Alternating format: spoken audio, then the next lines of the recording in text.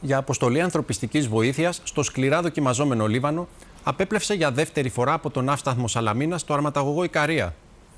Το πλοίο μεταφέρει ένα πολύτιμο φορτίο 180 τόνων που περιλαμβάνει φάρμακα, υγειονομικά και οικοδομικά υλικά, τρόφιμα, χρώματα, ρουχισμό και είδη ατομικής υγιεινής για να καλύψει τις ανάγκες των κατοίκων της Βηρητού μετά την τραγωδία που, από την έκρηξη στο λιμάνι της πόλης.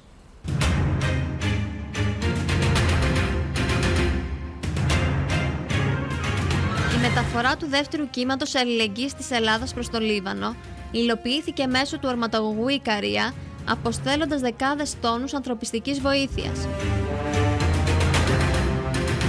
Δεκάδες ελληνικές εταιρείες, ιδιωτικές και δημόσιοι φορείς συγκέντρωσαν πάνω από 500 παλέτες, πάνω από 400 τόνους από υλικό, το οποίο ετοιμάζεται να βρει τον δρόμο του τις ε, οικογένειες της Βηρητού που έχουν ανάγκη. Το στρατιωτικό ορματαγωγό που απέπλευσε για δεύτερη φορά με προορισμό το λιμάνι της Βηρητού μετέφερε φορτία δεκάδων τόνων σε τρόφιμα, φάρμακα, οικοδομικά και άλλα υλικά. Με αισθήματα αλληλεγγύης και σύμπνοιας, η Ελλάδα υποστηρίζει το Λίβανο, αποστέλλοντας για δεύτερη φορά 180 τόνους τροφίμων και υλικών με το αρματογό Ικαρία. Υπεύθυνο για την υλοποίηση της αποστολής ήταν ο Υφυπουργός Εξωτερικών Κώστας Φραγκογιάννης, ενώ σημαντικό ρόλο διαδραμάτισε και η Πρεσβεία Λιβάνου στην Αθήνα. Σημαντική επίσης ήταν η συνεργασία με το Γενικό Επιτελείο Εθνικής Άμυνας και το Γενικό Επιτελείο Ναυτικού, που σε τέτοιες κρίσιμες στιγμές ανέλαβαν τη μεταφορά εκατοντάδων τόνων από προϊόντα που συγκεντρώθηκαν.